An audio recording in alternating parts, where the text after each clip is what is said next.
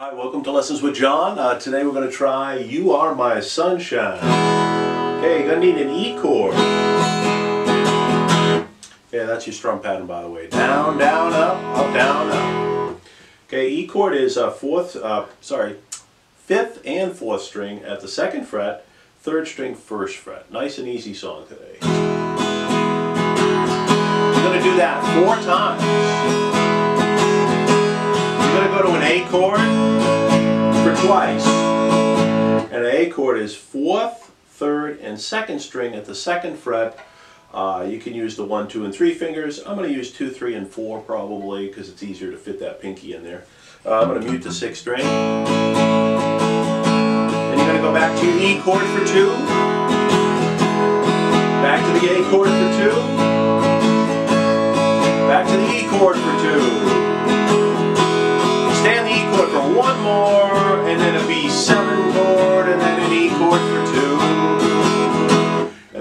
song.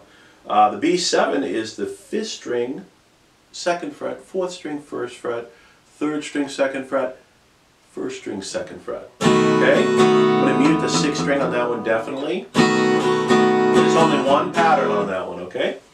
So uh, it's the the pattern for the song is the same for the verses and the chorus. Once you play through that pattern, you just repeat it for the entire song, um, and that's it. That's that's that's the whole song. So it's uh, let's see. There it is.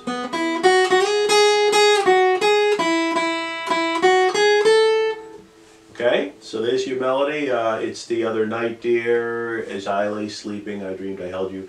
That's a verse. Uh, the part that most people know is You Are My Sunshine.